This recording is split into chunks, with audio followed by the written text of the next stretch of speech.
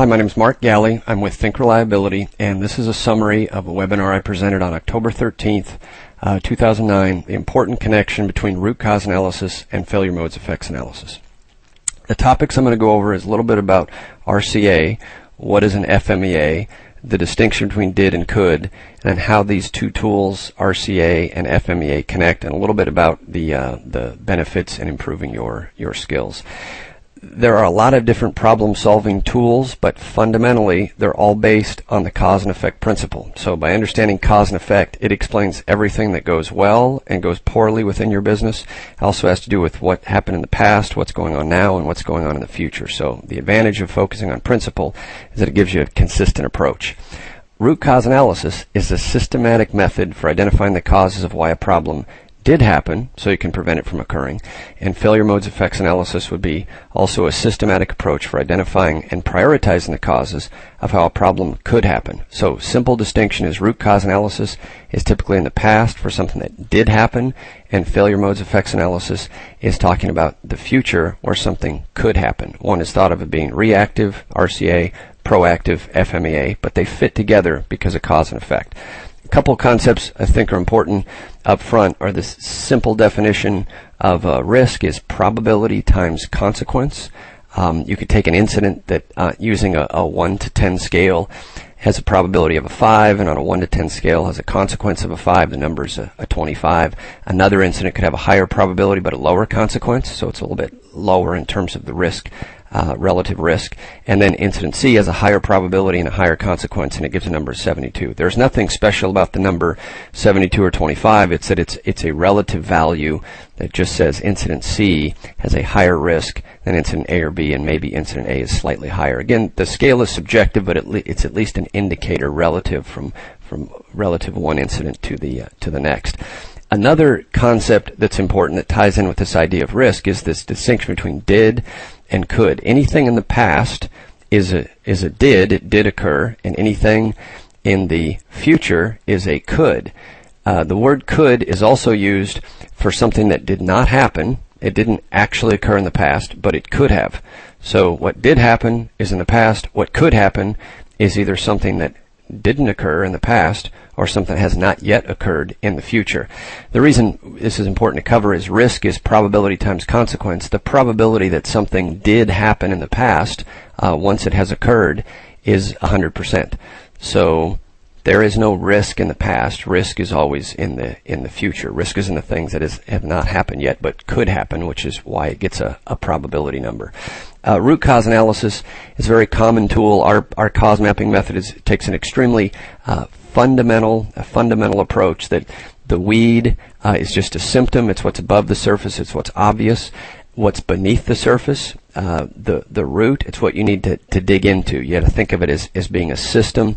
That when you have a weed in your business, you want to dig into the things that are that are not exactly obvious to prevent it from occurring. The word root and root cause analysis, from our perspective, just refers to what's beneath the surface. Root cause analysis is about digging into the details of an issue, not necessarily finding the root cause as a as a singular thing in, in terms of how problems and processes relate, every problem is a signal that processes have, have broken down. Once you define the problem and conduct a cause and effect analysis and come up with solutions, those solutions end up being improvements in your process, the idea to prevent the problem from ever occurring. This is typically known as plan, do, check, act. The act piece being the investigation. You can investigate something that did happen, and you can investigate something that could happen. What did happen is in the past. It's called an incident, crisis, failure, defect, error, delay. What could happen is when people talk about near misses, potential risk, issues in the future, failure modes, effects analysis, or process hazard analysis. Anything to look at in the in the future. But this model of problems and processes, how they relate, fits that Shewhart cycle of uh, of plan, do, check, act. Um, the did and the in the could are what we're going to focus on in this this example. So in root cause analysis, when something did happen, you capture the impact of the goals, you lay out basic cause and effect relationships, and as you add detail, much more specific, and then you identify different ways you you uh, could solve the problem in terms of possible solutions, and then you select the, the best solution. So simple problem analysis solutions for a, a root cause analysis. You start with the problem, that's the impact the goals, and then you just ask why questions as you read across the page. It, it shows you how cause and effect pieces together, that everything that's a cause, when you ask why questions, can be viewed as an effect, and, and vice versa. They, they link together, it creates this, this chain of events. But a cause and effect relationship is fundamentally made up of an effect and a cause, and you need these two things. One is defined by the other. The effect is the result of a cause, and the cause is the producer of an effect. Every complex issue fundamentally breaks down into cause and effect relationships. So you could have an incident, just ask a few why questions. When you add more detail, uh, you can you can zoom in and go from three causes or three why questions to ten.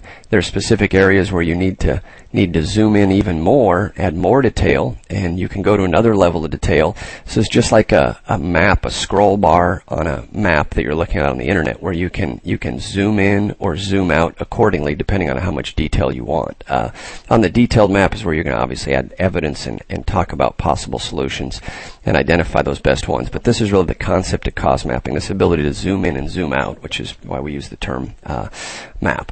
A lot of root cause analysis methods are very heavy into the adjectives. A lot of terminology uh, ends up maybe confusing uh, what is fundamental cause and effect analysis, and we, we really try to simplify that approach that a cause and the cause mapping method is the producer of an effect. You validate it with evidence. If you're missing evidence, it's called a, a possible cause because you're, you're not sure um, whether or not this cause actually occurred. The steps, again, are problem analysis solution. In a, in a root cause analysis, it's not just identifying the problem as a singular thing, it's identifying the impact to the goals. There might be two or three impacts to the goals. You could have a safety incident and a, a service issue and a, and a labor issue all in one uh, incident in terms of labor, in terms of cost.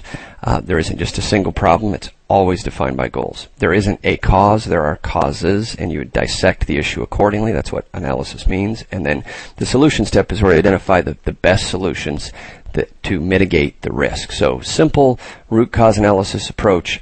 The FMEA, the way the way that it ties in, this is the structure of the worksheet for a typical failure modes effects analysis. That you identify the item and the function. This could be a system or a component. You identify potential failure modes and then potential effects of those failure modes.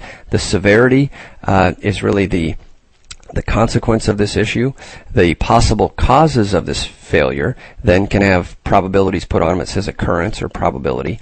Uh, and then current controls what's in place in terms of us understanding or detecting that this has occurred. And there's a detection component here. Severity, occurrence, and detection is really consequence, probability, and, and this uncertainty, this ability to detect.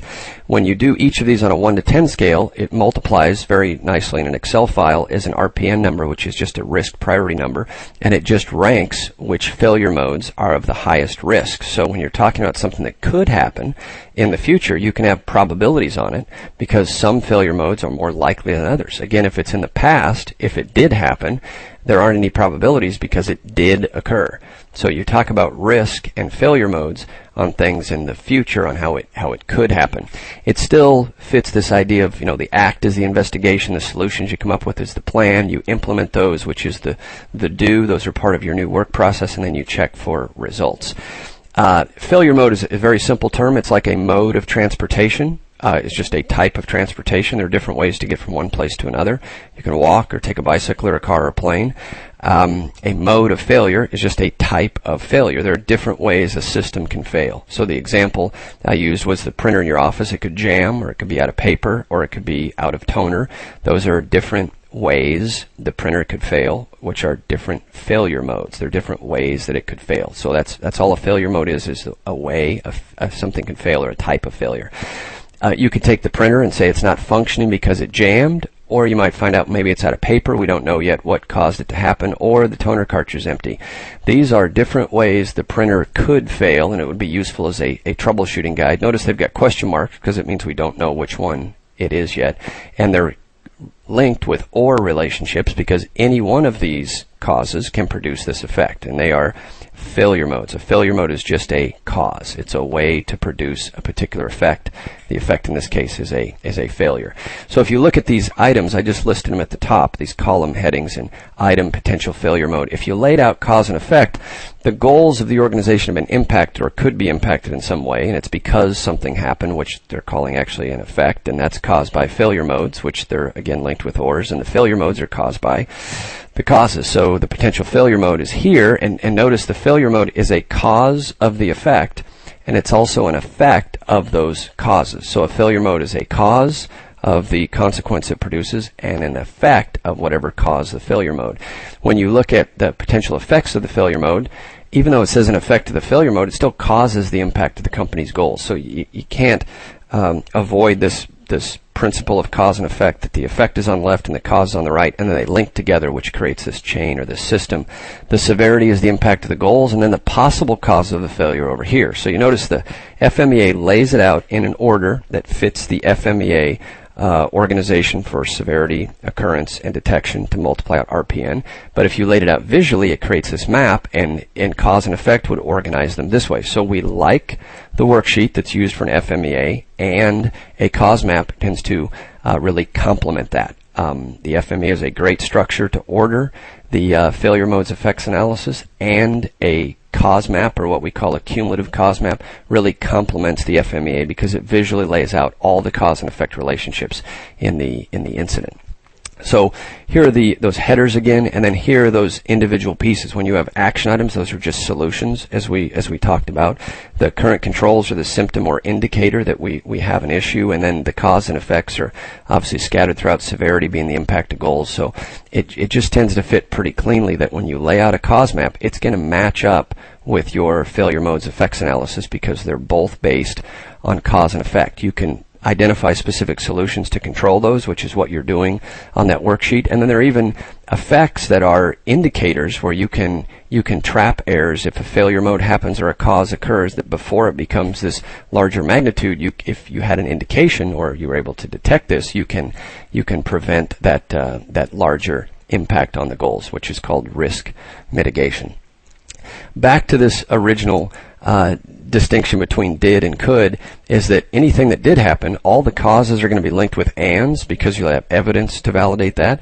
Anytime you are missing evidence, those are the or relationships. It could be this or this, which is just how people speak right now.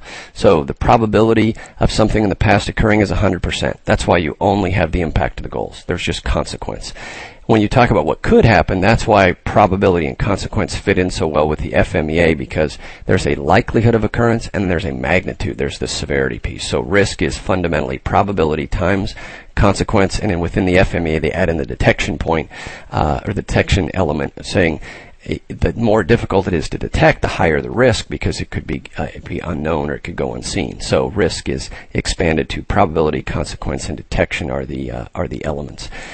On this simple um, slide, it shows that you can investigate the Titanic from April 14, 1912. Why did it happen? All the causes are ands, except where you're missing evidence. That's why the question marks are on there.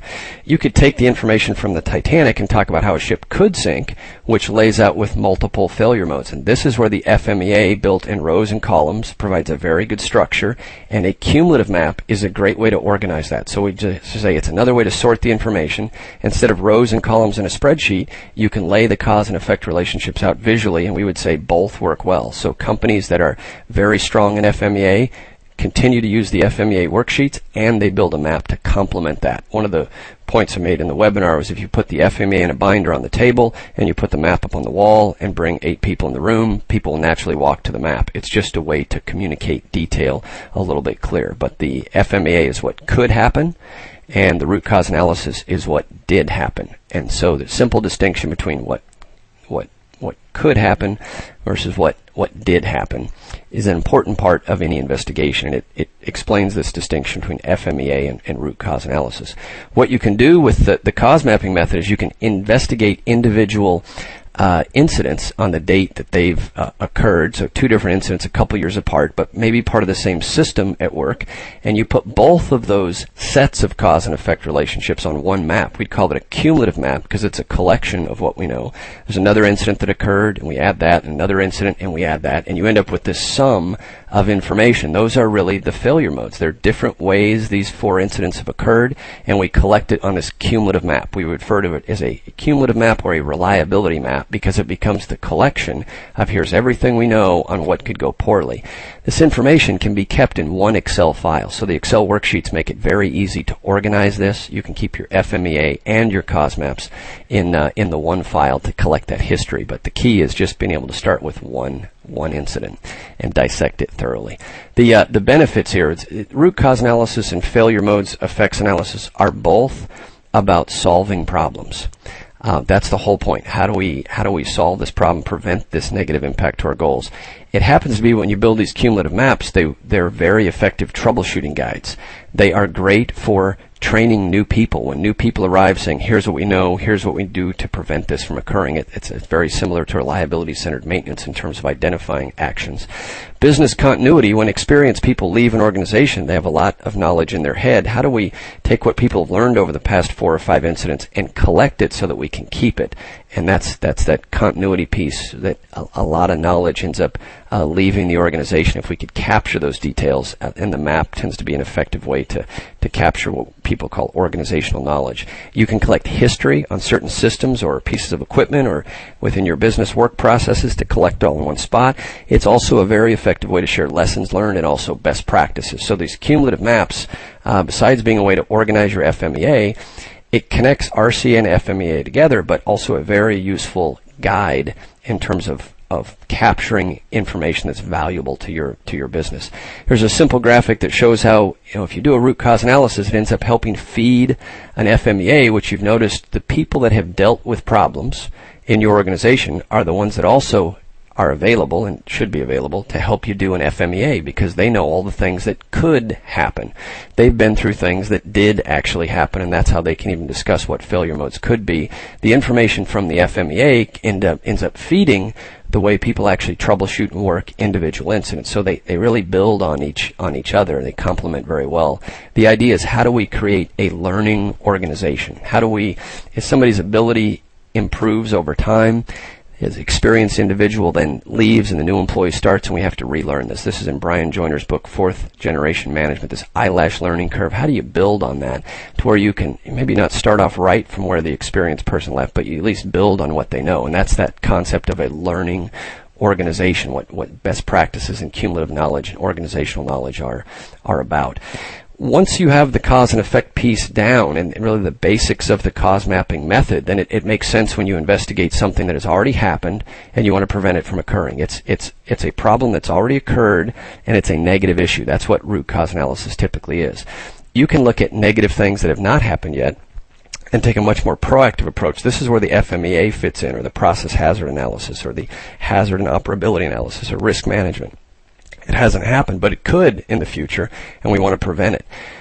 Focusing on the cause and effect principle also allows you to say, well, what if we had something that occurred, but it was very positive? In the in the uh, webinar, I mentioned Flight 1549 was a, was a was a good success because the plane went down, but there were zero fatalities that you can do a root cause analysis. It's on our website at thinkreliability.com under RCA examples on the menu on the left. It lists some case studies, and Flight 1549 is one of the root cause success analyses that are listed uh, in that in the that website. Uh, positive results were achieved, and we want to duplicate it uh, again. We want to we want to duplicate it in the future. Um, here is an incident that has not happened yet, but we want to produce these results. So the example I used if someone's training for a marathon, they know the date that they're going to run the marathon and the time that they'd like to run that marathon in, and then they work backwards to identify all the things required to produce that result. So there is a a future view and there is a past view, and there are things that are negative and things that are positive. So the cause and effect principle doesn't change whether you're talking about the past or the future, or something that's negative, something that's positive. It's just most people focus on root cause analysis because it's investigating that negative problem, and failure modes effects analysis is preventing that negative thing from occurring. But you can apply the same cause and effect approach in any four of these uh, options within this this matrix. They're just different applications. So RCA, in simple summary, is what did happen. FMEA is what could happen. Both tools are based on cause and effect, and they're both about improving process. It's always about reliability. Uh, mapping information improves the way people communicate, and, and the mapping the information creates this valuable record to the organization of here's a lot of knowledge about specific a specific issue or issues that we've collected in one spot. So it, it changes the way people communicate uh, in the organization.